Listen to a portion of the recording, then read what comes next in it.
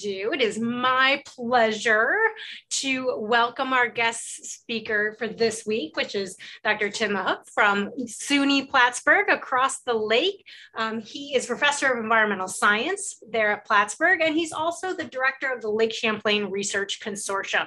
So he's here to talk to us about his research um, in the lake, so directly impacting us as well. So welcome, and the floor is yours. Thank you, Emily. It's nice to be here. Um, hello, everyone. How are you doing? Good day today. Nice fall weather.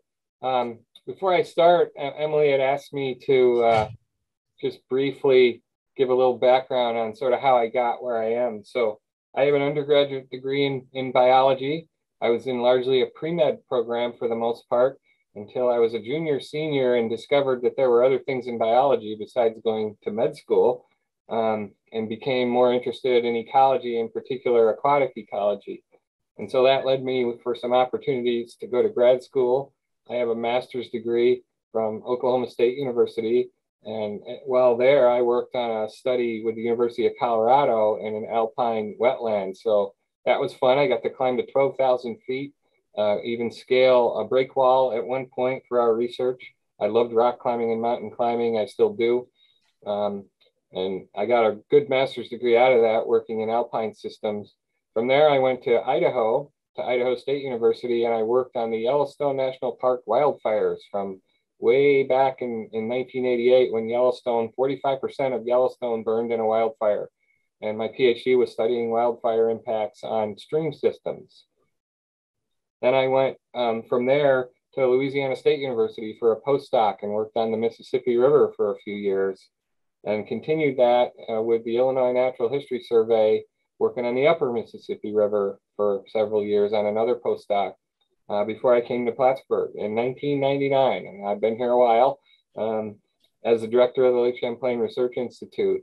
And a lot of what I do is aquatic. I'm interested in rivers, lakes, streams, wetlands, really mostly interested in community dynamics and a lot with invertebrate communities. I've done work with fish communities as well uh, but have a lot of interest in how communities work and are structured, and particularly how disturbances might impact those communities.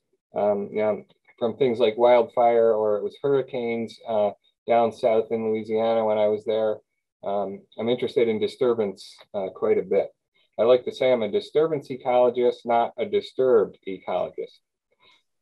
Um, so let me just go back quick and give some credit to all the people at the Lake Champlain Research Institute, students and staff, graduate students and undergrads uh, who've contributed to the work I'm going to talk about today.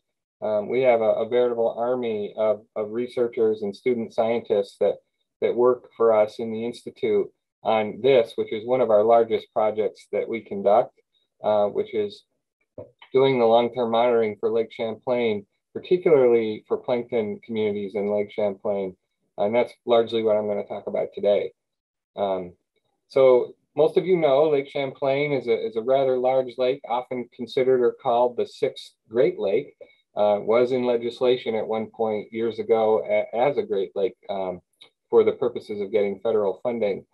And it's 120 miles long, an average depth of 124 meters. Um, I'm sorry, 124 meters at its deepest point, which is over 400 feet. Um, mean depth of 22 meters. Um, it's, it's, a, it's a fairly large lake. It's got specific lake sections, as you might know, the Missisquoi Bay section, the, the island section, uh, the main lake section, which is really from Plattsburgh to Burlington and a little south of what we call the main lake. Um, generally, the lake is what we call oligotrophic or nutrient, sort of moderate nutrient levels although we have regions of the lake with higher nutrients than others. And these little dots on the map show the monitoring sites that are on the lake that, that are used by both states, Vermont and New York, to sample water quality and, and biota. Um, lake Champlain has undergone a number of changes uh, over time. Uh, the lake connectivity has been altered quite a bit through the building of roads and causeways, especially in the Northeast Arm, where roads and causeways basically, in many ways, hydrologically isolate the northeast arm uh, from the rest of the lake. Um, and we've had some development in other areas of the lake, but by and large, most of the main lake system is actually a very natural ecosystem. Um, so most of what I'm going to talk with you folks today about is zooplankton, zooplankton communities. They're, they're this middle of the food web crustacean group. Um, small, you can see them with the naked eye if you take a water sample, and they're largely the food source in the food web for the fish and the other top predators. So um, we don't get to have our top predators in a food web if there's not an energy base below them to support them. And it starts with algae and moves up through the plankton as animal food. And then that, those animals are fed on by fish and other animals. Um, and that supports the top end fishery, the lake trout, the salmon, the things people want to go and catch um, as a game fish. So they're very important in what we call secondary production in the system, which is essentially the first layer of production above the plants in an ecosystem.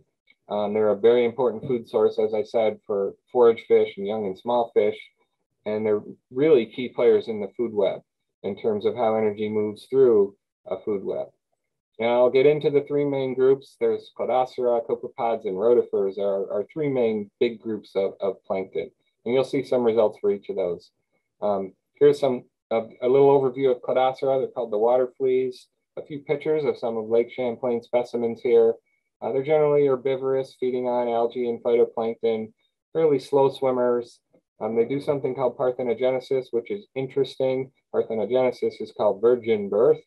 They can, females can produce a generation with no fertilization from a male. So they produce essentially clones of themselves, largely in the summer when resources are high and they need to put off another generation quickly uh, female cladocerans can do that. They produce basically clones through parthenogenesis. So an interesting genetic or reproductive um, life history trait here found in this group.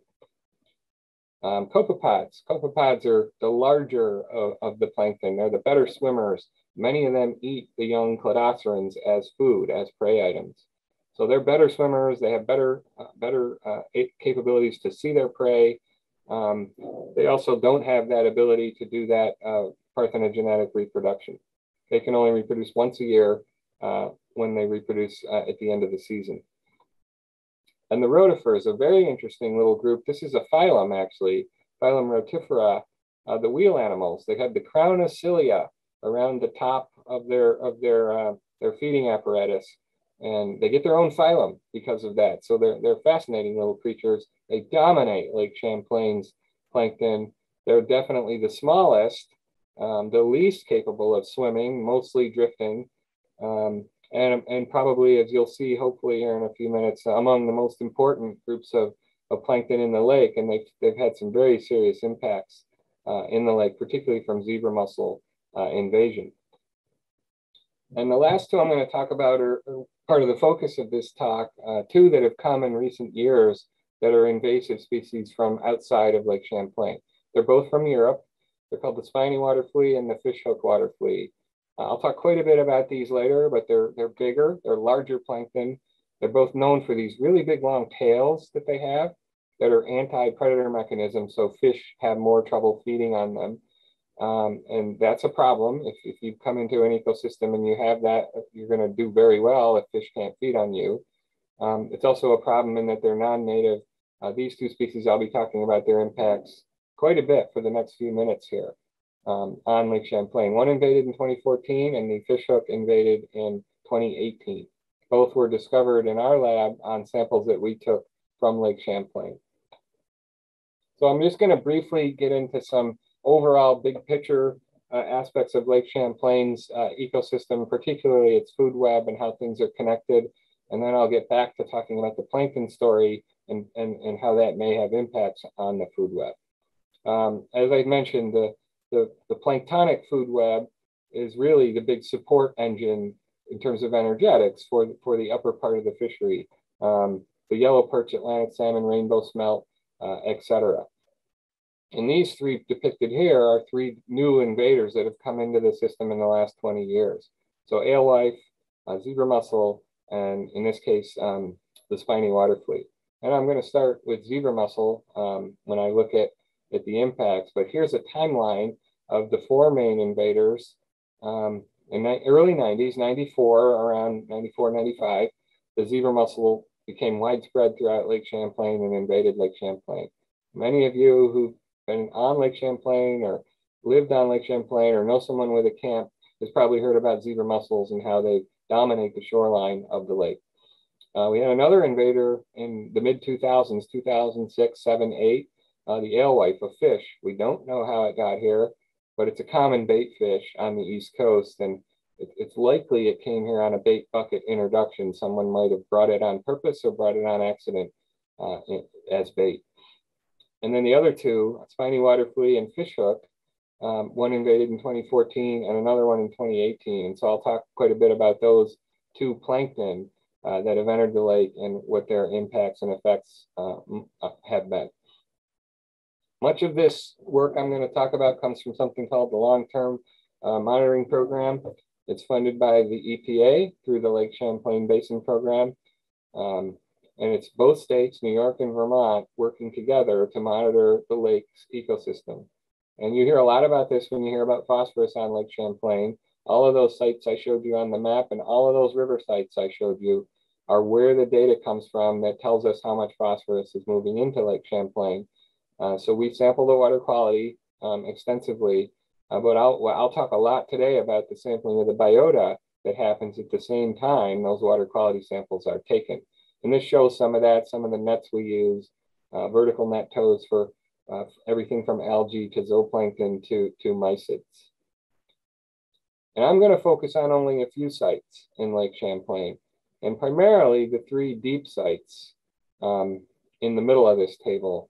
Uh, it'll be a big focus of this talk. So the pelagic planktonic part of Lake Champlain is where I'll talk a lot about invasive species impacts uh, and other things. So out of those 14 sites, we have a data set of for biota that goes all the way back to the beginning of the program, only though at these five sites. So they're really the focus of the biological work. So the first one I want to talk about is mysids, mysid shrimp. Uh, they're among the largest of the planktonic community. They're visual, you can see them with the naked eye. They're a couple, one or two inches long uh, when they're when they're full adults. And it's, so they're very important in the food web. This is every uh, young lake trout or young salmon or young perch is looking to feed on Mysis diluviana um, in the lake. So they had a huge decline in the lake in the 90s, which we finally uh, figured out when we started looking at the long-term data set. Um, and this, this was kind of an important thing. This is after we had published a lot of work on the decline in some of the other plankton associated with the zebra mussel invasion in the early 90s. Um, a few years later, we were working with this data and realized, wow, we have a mysid decline um, that also coincides with that. And we have several papers out published with very, a variety of colleagues and scientists, including some at UVM, on this decline and, and how it happened. So that's the first big point is uh, one of our major components of the food web had a massive decline in the early 90s. And I'm going to get a little into this because I've had a, a graduate student who recently finished some work on on mysid life history and population biology. And so this is a little complicated, but it shows on the left, juveniles in the green bars, and on the right, males and females in two different colors, and their size class distribution in each year across the entire data set. So starting in 1992, also including data we have from 1975 mysids that are in a collection at the University of Vermont. Um, and so what you see here is there's a little bit of a change in size class in the 90s where the zebra mussel card is. Um, we had a big shift from larger mussels to smaller, uh, larger mysis to smaller mysis when the zebra mussel entered the lake. There was a pretty big shift in the population uh, and the size distribution of, of, this, this major player in the Lake Champlain food web. And the next shift we really observe is a, a shift in size here in 2010, 11, and 12 and that's following the alewife invasion in the lake. And alewife is a major forager on these on mysids and other larger planktonic species. Uh, so we might expect to see some alewife impact on populations of mysids. And I'm going to hone in on the last few years where I can talk about the last two planktonic invaders. Um, in 2014, we saw some changes in mysid sizes associated with the spiny water flea invasion and haven't really seen much change with the, the next invader, the fishhook water flea, which is a smaller organism and maybe not as directly uh, competing with mysids, uh, spiny water flea is a direct competitor with mysids for food, so they're going to compete with one another for niche space um, in the lake system. So this shows again in red is that mysid graph over time, 1992. This one goes out to 2015 uh, for their abundance. But it also shows another organism, the black line, which is the crash in total rotifer populations in the lake that preceded the mysis by basically one or two years. And this was uh, the subject of one of my first students' work at Plattsburgh, who titled her thesis work, uh, Where Have All the Rotifers Gone? Uh, we've gone from millions and millions and millions of rotifers. Uh, this is number per cubic meter, so 30,000 per cubic meter um, in the lake system to much lower population numbers of this rotifer community. And that directly coincided with the invasion of the zebra mussel into Lake Champlain. And zebra mussels are known to filter directly rotifers out of the water column. They filter them just like they're a particle. Uh, so we really lost a lot of rotifers. And here's a, the dynamics of what species we lost.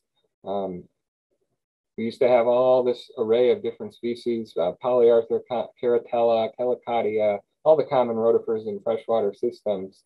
And they're basically mostly gone. And then this one rotifer out here on the end, Conochilus, um, is the one that's taken over the rotifer community. So if we look at the pictures of these, they're one, they're fascinating. They're really interesting to look at under a scope for sure. But the winner of the zebra mussel invasion was this Conochilus rotifer. And there's a specific reason they probably are, are more prevalent now. And that is because they're gelatinous colonial rotifer. They stick together in kind of a gelatinous matrix and they get rejected by mussels when they're when mussels try to filter them. The mussel can't handle them and will spit them out and reject them from the siphon. Uh, so they don't get filtered directly by the mussels, whereas all the other rotifers are more individual. They're like little particles floating around and they're directly just filtered away uh, by, by mussels. And, and, so they had, there was a huge impact of, of zebra mussels filtering water uh, on those other species. So I'll summarize where we are early in the 90s in Lake Champlain. We have a rotifer decline that's well documented. We have a mysid population decline, more or less at the other end of the planktonic food web uh, that's well documented. And we want to look to see, hey, maybe there's food web connections there. How, we don't really know how the rotifer connection to mysids uh, played out or worked. And I'll talk a little uh, here in a minute about some modeling we did to try to get to that, answer that question.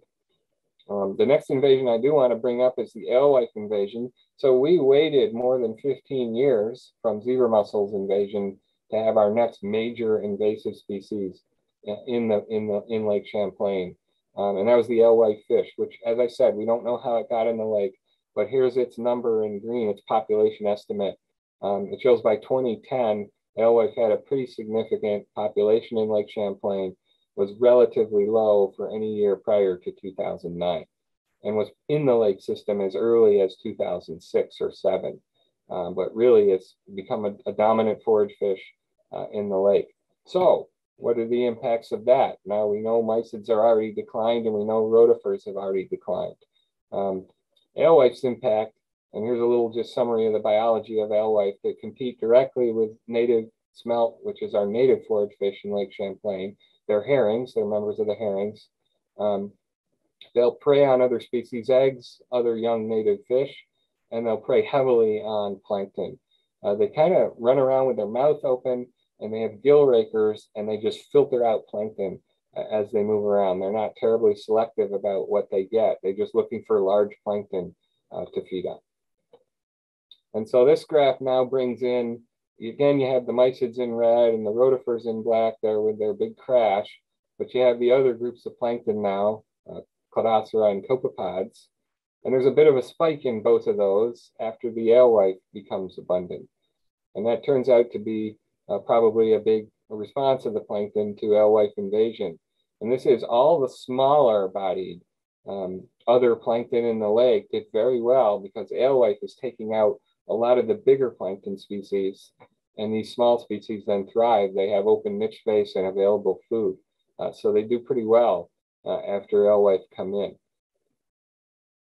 So that's these two groups, the copepods a variety of different species shown here. This is from our key that we have in our lab, a key to the zooplankton of Lake Champlain. Um, one thing interesting about copepods is they have cyclops very commonly in their genus name. And many of them are cyclopsian looking. If you put a little eye on there, you kind of see a cyclops, or you may vision a cyclops. So when the scientists name these, uh, cyclops ends up in a lot of the genus names uh, for this group.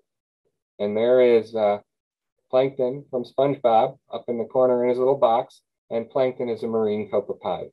Taxonomically, that's what he is at least. Um, the water fleas, again, that group the smaller versions of these, Eubosmina, Bosmina, and some others, really uh, did well after alewives came in and had an impact on the larger bodied organisms in, in that group. So we have zebra mussel invasion in the 90s with a, a decline in rotifers and mysids. We have alewife invasion in 2007 with an increase or, or in small plankton species, but an impact on some of the larger bodied plankton. So let's go now to where we are sort of in Lake Champlain at that point prior to 2014. If we look at the food web, and this is in green, all the different types of algae and phytoplankton you might see in the lake, uh, grouped by their type, green algae, diatom, protozoans. Um, and then the little orange boxes are the three big groups of plankton, copepods, cladocera, and rotifers. And when zebra mussel comes in at this end of the food web, it impacts rotifers. And when alewife comes in at the other end of the food web, it impacts these other groups. So we, we're squeezing the food web from two different sides. And in the middle, the, this Leptodora, which is a big, a big predator in the lake uh, as well, and mysid shrimp are the ones who are in the middle, sort of responding one way or the other, depending on how they're fit in with the, with the new invader that's come in. So that's two invaders having an effect on really two different parts of, of the main Lake Champlain pelagic food web. So one question we had with that data up through 2015 uh, was, is it possible to try to model this and determine some of the patterns and relationships? So I am going to go into a little bit of a modeling uh, effort that we took out that's published in a book chapter. Um, but I'll go I'll go through it fairly quickly and I won't bore you with lots and lots of details of, of modeling. Uh, but we basically have all this data we have all these species, we have all this data, we even have the water quality data. And I have a colleague who at a meeting, I was at an international meeting, and he, he's actually from uh, Australia. And he came up to me and he said, you know, I gave a talk about long-term patterns in Lake Champlain. And he said, well, we can model your data, we should talk. So we began talking and eventually I shared all the data with him.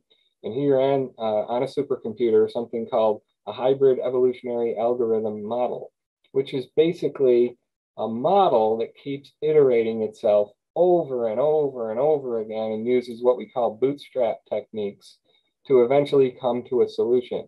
It takes a lot of computing power to do that. I think the runs were 24 hours or plus on, on the model efforts on a, on a fairly intensive computer system. And in the end, I don't claim to be an expert on these models, but my colleague certainly is, uh, Frederick Recknagel we came out with a model of what Lake Champlain's data looks like and what may be correlated or related in the food web and some of the patterns. So I'm going to give you a very short overview of that. Um, this is one of the model outputs that's in our paper. And there's a tiny little food web up here with the players, the interacting players in the food web. And then the main characters of this part of the model is rotifers. We knew rotifers crashed, so we knew they'd probably show up in the model as, as important. And you might not be surprised to know that rotifers and mysids have a correlation with one another. Both of them declined in the 90s at, at roughly the same time. Um, they also had a correlation with zebra mussels, which was highly negative. Um, when zebra mussels got to above 395 per square meter density, uh, rotifers declined the most uh, in the lake system. So we now at least have a zebra mussel density that's really, really bad for rotifers. Uh, the other two groups, this, those copepod groups, um, not many impacts here between rotifers and those groups, which we don't see in our data uh, to begin with. So one more model output really quick, which is chlorophyll A, this, the biomass of algae in the system, and a relationship um, particularly with uh, one group, the daphnid cladocerans, which increase as chlorophyll A declines, and then no effect on a few other groups, but a correlation of chlorophyll A and rotifers, which probably is directly related to that filtration effect of zebra mussels uh, on particles uh, in the lake. So we got some results that really told us, um, you know, there are some connections here in Lake Champlain's food web in terms of the big picture patterns in the food web uh, in the long-term data set. And one thing you probably may have noticed that I'm not really mentioning is water quality. All of that water quality data, all the nitrogen, phosphorus, there's a lot of it for Lake Champlain. Um, that's in all these models. That's in all our analysis. We don't have any patterns in water quality, nitrogen, phosphorus, or anything that relate to any of these plankton variables in the lake. The plankton seem to be responding much more to the new invasive species than water quality. And that makes sense. This is um, Eric Smeltzer, who's the Vermont State Limnologist at the time, his paper on the trends and patterns from Lake Champlain's data. And so this is all the lake sites um, here.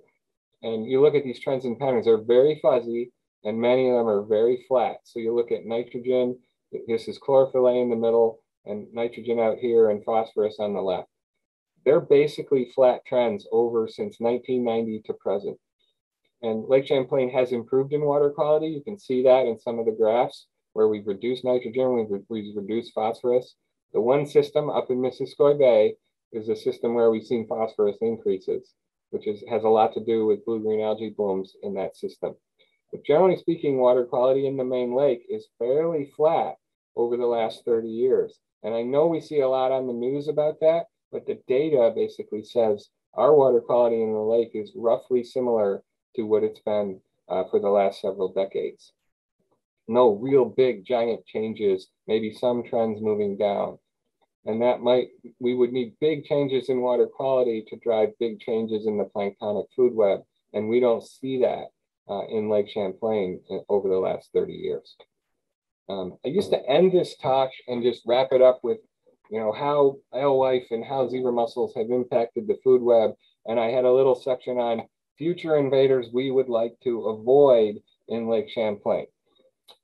Well, in 2014, all of that changed we, our future invaders became present invaders. Um, we had the spiny water flea invade the lake, most likely on boat traffic from Lake George, where they had, in, had been known for several years, um, or, or um, other lakes in New York, Sacandaga Lake, where they were first introduced to the Adirondacks in 2008. Um, anyways, we found them in Lake Champlain. They were part of the sampling regime for the long-term monitoring. And in 2018, completely unexpectedly because they weren't as close as the spiny water flea was to us. They were in Lake Ontario. Uh, we had the fishhook water flea invade Lake Champlain. So now my talk is, oh my God, we've had two new invaders. What have they done to the lake? And this shows you just the Bythotrephes density, um, basically nothing until 2014 when they basically exploded uh, in Lake Champlain in abundance. And I'm going to briefly describe that for you. Um, this is a Bythotrephes with four brood on its back. Um, literally one taken within a couple weeks of the first discovery of this in Lake Champlain. And so we're seeing them, we're seeing them reproducing rapidly. Um, in my infinite wisdom, having worked on plankton in the lake for years, when I found the first specimen in a sample, someone showed it to me, I said, oh, it'll probably take a couple years before that really expands and takes over the lake. Um, I was absolutely wrong it took less than two weeks, and here we go. So what you see here is Lake Champlain with these red circles, and that's the sampling of all of those monitoring sites. And when you see nothing, it means there's no Bythotrephes in any sample. So this is early August of 2014. These samples are basically taken every two weeks. In late August, we'd already discovered it at one or two other, other sites. We had like one or two specimens. We start to see it in the South Lake in some reasonable densities. And we're like, oh boy, well, within two weeks later, we have detected it at every monitoring site on the main lake. And some of these circles are really high densities for this species. 10 or 20 per cubic meter is a lot of Bythotrephes because it's a really big organism. And then we went out past September to the rest of the season and it's just taken over the lake. So I wasn't kidding when I said literally in two to four weeks, this invasion occurred and got to dramatically high densities in Lake Champlain. And this is my best example of that. A picture is worth a thousand data points. Um, Gabriella Dowd, came, one of the students in our institute, sent me this picture by email to my office and said, do I have to count this? This was a sample taken literally about two to three weeks after we discovered Bythotrephes in Lake Champlain. This is in the South Burlington waterfront, Station 21 on Lake Champlain. There's about 500 Bythotrephes in this sample. Um, it's an inordinately high density for this species. Um, so yes, my answer to her was yes, you have to count them. It's extremely important. All of this data that we're going to get is extremely important for changes that will occur in the lake. Um, and we did have changes. So this arrow here shows you the 2015 densities of the rest of the plankton species, and they basically all crashed when Bythotrephes came in. This top predator came in, it either ate them directly or it displaced them in other ways ecologically. Um, and again, it has this long spine, so predators have trouble feeding on it. So it's got a lot of open niche space to come in and essentially wreak havoc it's like the bully in the lunchroom in middle school. They get to sit where they want. They get the whole table if they want it because they're the bully. That's what Bythotrephes is in Lake Champlain. Um, here's another example of it, the impact. So this shows you the distribution vertically of one species. It's called Daphnia retrocurva. And here we had data from 2013 before they invaded. And you can see during the day and at night, they basically are all sitting in the top surface of the water column. This is from zero to 50 meters and their density bar goes out from left to right. Well, we had this invasion, so we repeated this sampling thinking, oh, it may impact the vertical migration of some of these species. And sure enough, during the day, spiny water flea love to sit at the top of the water column in the surface waters. They were eating all the Daphnia and forcing the rest to migrate down um, when after we had the, the spiny water flea invasion. And Daphnia retrocurva is one of our most abundant plankton species in the lake. Uh, so they had a big impact early on, not only on behavior, but on other aspects uh, of the rest of the plankton in the lake system. Um, well, it didn't end there. I thought maybe my invasion career of plankton in Lake Champlain would, would end with, with spiny water flea. Um, it didn't. In 2018, another sample in the lab, someone basically called me in and said, I don't think this is a spiny water flea. I think it's something else. And there's a picture of it. And I looked at it and I said, oh my God, that's a fishhook water flea. So different species, not the, you know, not the same. And, this, and we had, a, I won't get into the maps or anything, but the invasion of this species was very similar to spiny water flea. One, it jumped several hundred miles from Lake Ontario and the Finger Lakes to Lake Champlain in one invasion step. We didn't record it anywhere else in on the way in the Adirondacks or anywhere else. So this is almost very likely, in my opinion, a boat introduction on someone's boat that wasn't cleaned and was fishing in probably Lake Ontario. And then they left their boat wet. They left some eggs or some live uh, fish hook on it. And then they went to Lake Champlain and decided to fish again. And, and, so, and fish hook water flea gets in the lake. Uh, so boat transport's a big issue. Um, this thing expanded just like the other one within weeks took over. It's actually still here in really high densities, even in 2021. Um, it's, it's doing very well in Lake Champlain and, and seems to love it here. I'm going to go through a couple of quick just what impacts of that from one of my grad students, Zach Cutter's uh, work. And I'll just go through these fairly quickly. But this panel in the upper right is the seasonal dynamics of the abundance of, in this case, um, cyclopoid copepods before invasion. So it shows a peak in summer and it shows uh, a variety of different species in different colors here. And then what you see after invasion, so this is after Bythotrephes, and then the bottom one is after fishhook or Cercopagis invasion. What it's doing is pushing their life history early in the season. The only time some of these species, like Diacyclops thomasi here, can be prevalent in high abundance in the lake is when Bythotrephes is not in the lake or when fishhook is not. Bythotrephes and fishhook do not come off their winter resting stages until even early to mid to late August. So you have the early months of the season when these plankton can do well, but as soon as those new invaders come on as adults, uh, they consume them or they displace them, and their abundances go down quite dramatically. Um, here's another one. This is daphnids, um, the, the, water fleas, uh, showing again a change in their seasonal pattern. In this case, it wasn't a movement or a suppression to early in the season. Um, it was a broadening of, of, of, their density in the case of with the, the spiny water flea, Bythotrephes invasion. And then it was a huge decline, particularly in one uh, species called Ceriodaphnia um, with the fishhook invasion. Ceriodaphnia must be heavily susceptible to predation by fishhook water flea. And one last one, this is that rotifer I mentioned, the colonial rotifer that's doing so well in Lake Champlain, uh, was impacted by these invasions as well, mostly by the last one, the one on the bottom here, uh, the fishhook water flea invasion, um, had a serious impact from on Conochilus rotifers. So, uh, and all the other rotifers are still in really low abundances in the lake.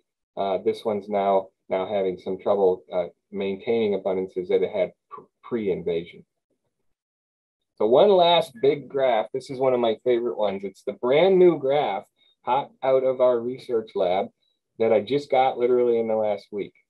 So this is from my student Zach, who's working on a paper from his master's thesis. And it shows Diacyclops thomasi, one of the really common plankton species in Lake Champlain. And each of these bubbles is density. So the size of the bubble gets bigger means there's more density there. And the left panel is in deep sites and the right panel is in shallow sites. And then each of the two panels goes, this is pre-spiny water flea, and then these middle two, where it says SWF with the arrow, is post-spiny water flea. And all you need to do is look at kind of the bubblegum plot and see the distribution of abundance across, um, you know, uh, the space here. And this is by season. So the colors of the seasons are labeled out here. These light blues are the late season, October, September, are the lighter greens and blues. And what you see here is where the arrow is for SWF, the densities go way down uh, in the late season. And that's because that's really abundant late. Spiny water flea is really abundant in the late season. So they're directly impacting the densities of this particular prey species.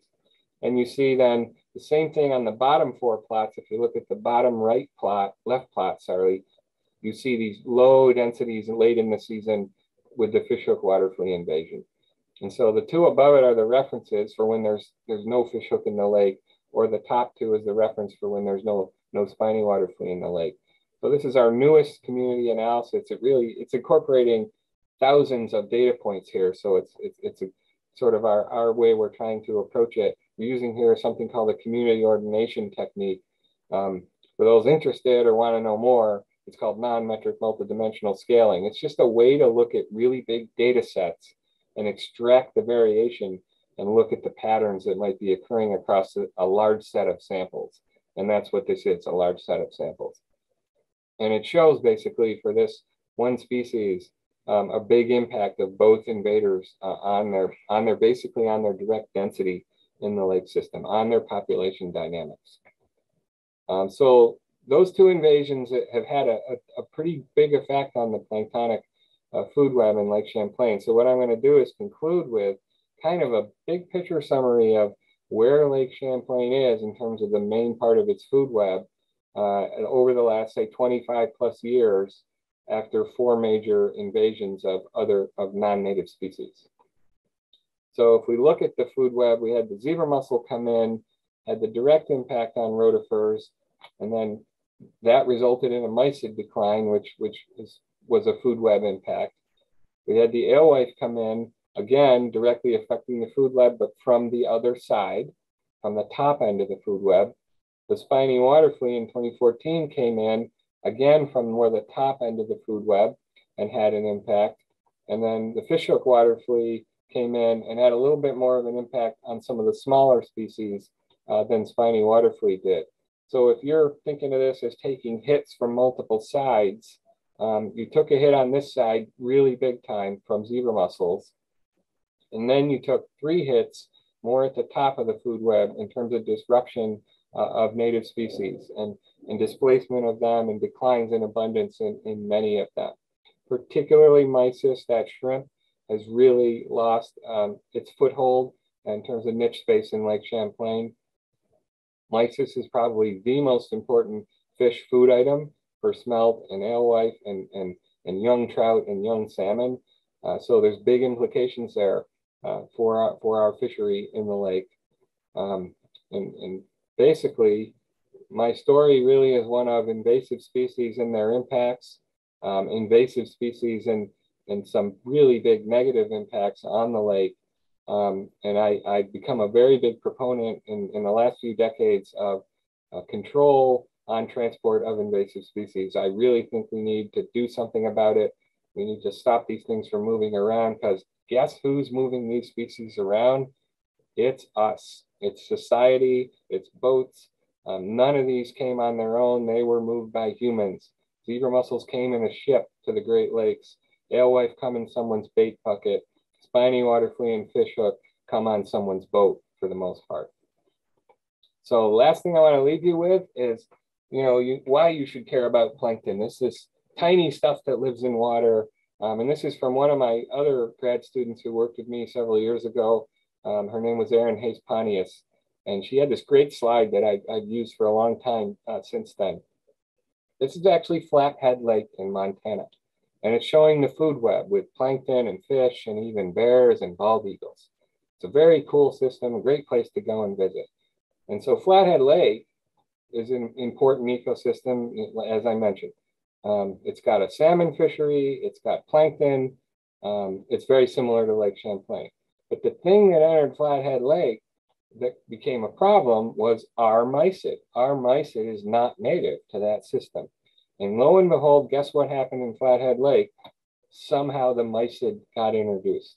And so it's this planktonic predator right in the middle of the food web. And the mysid had impacts on the rest of the plankton, not unlike the things I just showed you about Lake Champlain and spiny water flea and fishhook. Um, and that impact translated up to the fishery and caused the fishery of Flathead Lake to have some serious problems, the salmon fishery. Which impacted bears, which impacted bald eagles eventually. So what I would like you to leave this talk with, if you leave with nothing else, you don't remember anything about plankton or anything else, what you should remember is if you don't care about plankton, you don't care about America. Thank you. Great. Thanks, Tim, so much. We do have some questions in the yep. chat. Open my chat. Oh, there's one. I can tackle the first one quickly. Would it make sense to introduce predators of the invasive species into Lake Champlain? So what do you think my response would be to that, given all this research I've done on the impact of other invasive species in the system? It's common. People say, oh, let's introduce the predator from Europe that feeds on spiny water flea, which would be a, another fish, probably a different species of salmonid. Um, how does that work with a conservation biology framework for the lake? should we be introducing another non-native species to the lake? Do you think the communities in Vermont and New York uh, would, would be open to that or would accept that? Some of them would and some of them wouldn't. It would depend on what your conservation biology um, ethic was. My short answer to that is I would not introduce a new predator that's going to supposedly eat the, the fishhook water flea. The main reason is they won't eat them all, they'll just co-establish with them. And now you're going to have another non-native species in the system, which will now compete with our native Atlantic salmon and our native lake trout. Um, you've created yourself a conservation genetics problem and a conservation biology problem by bringing another invasive in to control an invasive that you've already got. And I use that not just for Lake Champlain. I feel the same way about introducing beetles to control purple loosestrife. I feel the same way about um, lots of different aspects where we might go in and try to fix things because we're humans and we think we can fix things. Um, my my career has told me that's not a good idea. Um, when I, I told you I did a postdoc in Louisiana, and one of the things I studied was water hyacinth, which was an invasive plant that was at the World's Fair in 1922 in New Orleans, and everyone got a bowl and they took it home. And then they put the hyacinth in the swamp, and now it's become a huge nuisance. And in the 1970s, we tried to solve that problem by introducing the water hyacinth weevil to South Louisiana, and we dropped them out of airplanes to try to be that invasive predator that would come in and eat the water hyacinth. What we now have is water hyacinth weevils, which are not native, eating the water hyacinth plant, which is not native, all over the swamps of Louisiana. And all the native species are, are, are the ones that are, that are being impacted by that. So you, you, you got me with that question. My answer was a little long, but the answer to me would be definitely no. Um, the next one's a little more nuanced. Um, once they are here, what can be done about the invasive plankton without hurting the beneficial plankton?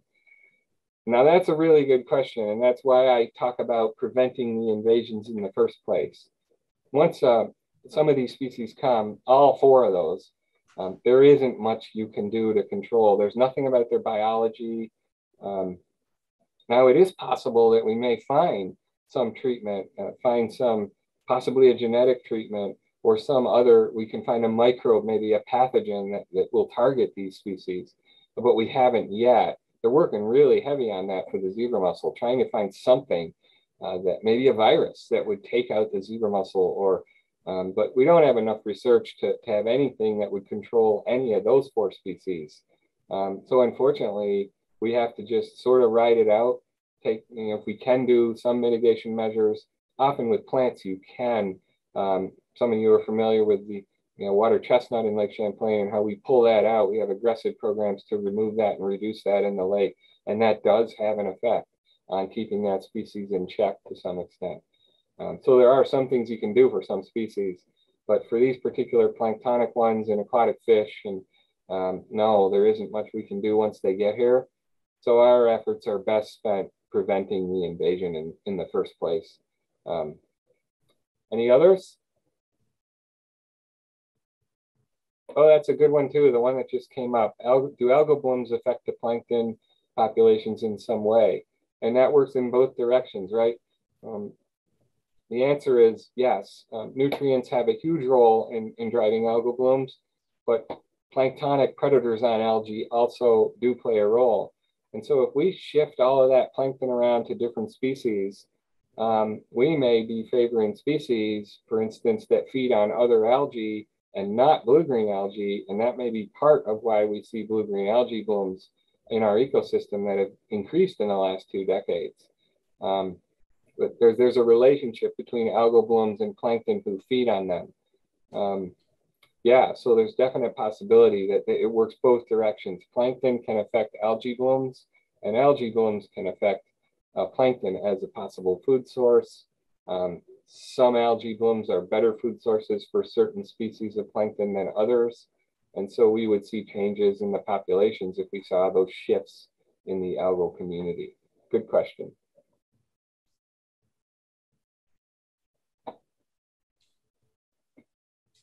Other questions? Quiet group today. There's one. Oh, interesting one too. Uh, are you currently predicting any other future invasive species that we won't, don't want to see? Um, not anything as bad as the two that just came, the fishhook and spiny water flea. And so you're talking to the plankton biologist for Lake Champlain. So those two for me were a big deal. And I would talk for years in my talks and my talk with, hey, we don't want these two invaders in our lake. Um, there are other species in other aspects of the lake that are a definite threat.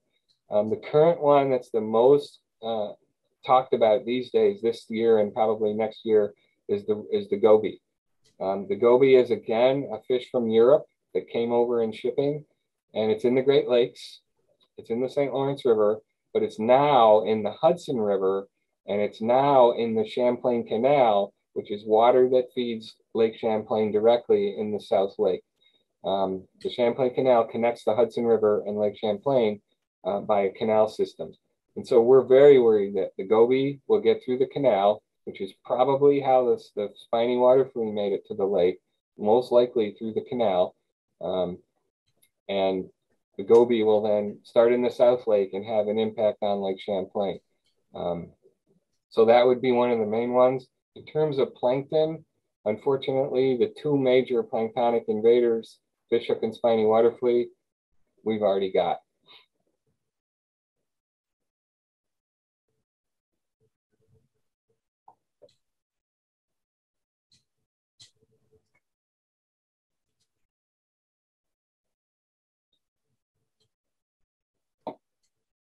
One more question there. Oops.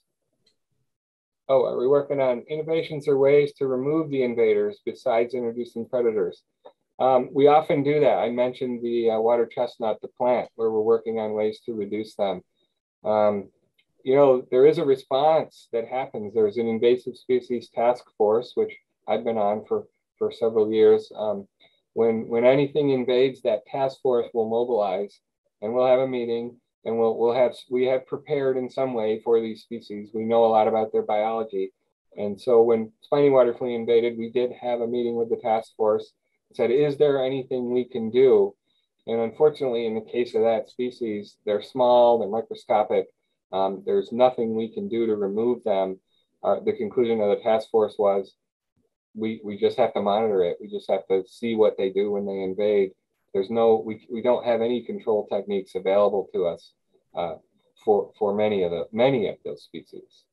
Um, there's a good one about boats. What do we do about boats and having them being cleaned um, after getting into a new body of water so we don't bring in unwanted species? And that is a really good question. Um, I am sort of become an advocate that for not only the education that we see, we have boat ramp stewards and we have washing stations. Those are all good, but generally speaking, those are also voluntary. Um, I believe that the solution to this, and, and I'm not really this kind of person, so it's kind of surprising to, that I'm going to say what I'm about to say. I think we need a law. I think we need an invasive species transport law. And I, what I mean is a law with some teeth to it. Um, has anybody ever been to Alaska? You get off the plane in Anchorage, Alaska, and you go on the highway. One of the first things you see is a $10,000 littering fee sign.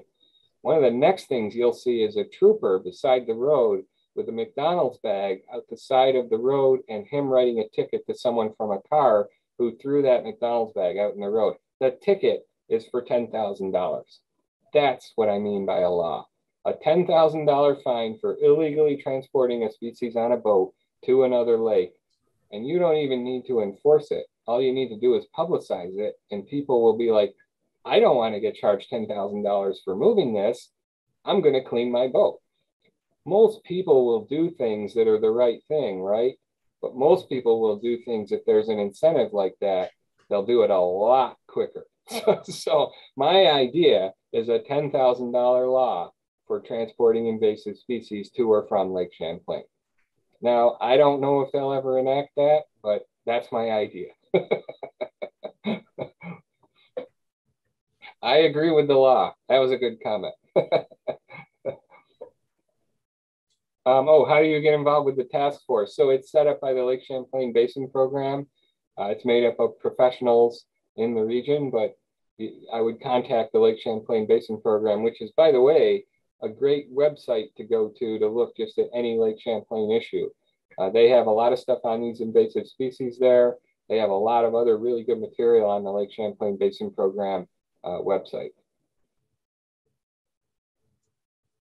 Um, ooh, another good one. Do you know of any native species ever gone extinct from an invasive? I'm not aware of that. Um, generally speaking, they go to really low abundances. So for instance, the rotifers in Lake Champlain, they literally plummeted um, to where our net sampling that we were doing was not detecting around 10, 11, or 12 of the species for well over 15 years. Now, that doesn't mean they were extinct from the lake. It means they were just in such low abundances, or they were hanging out in some refugia, which was probably the deep lake, um, that we weren't detecting them with our net sampling. We then began in around 2002, 3, 4 to detect these species again in our sampling. Uh, so I would say that was maybe a, a, a partial extinction uh, of some of those species as a result of zebra mussel impacts on the lake. But I, am not aware, but it could happen for sure, of a native species that is be, becomes locally extinct, uh, particularly in the case of like a direct competitor or direct predator. Um, if the invader comes in and just is such a direct interactor with that species, you could drive it to local extinction. Um, that's certainly a possibility.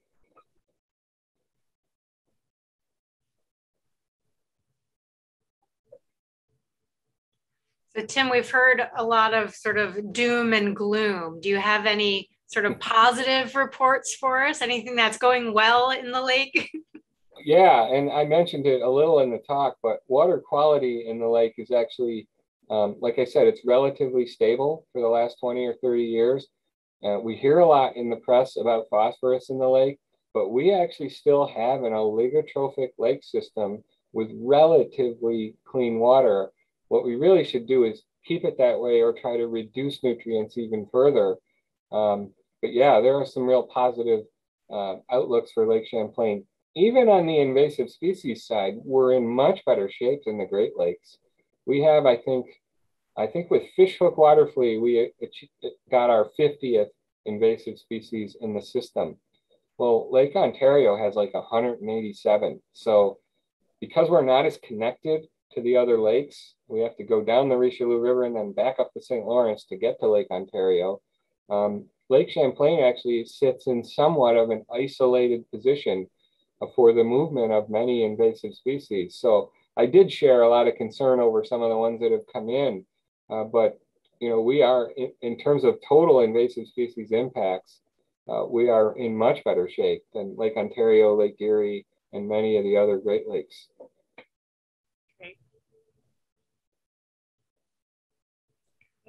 Well, thank you so much. I don't see any more um, questions coming through, but if anybody wants to stay on and just um, chat afterwards, feel free to do so. Otherwise, thank you so much, and I will see everybody next week.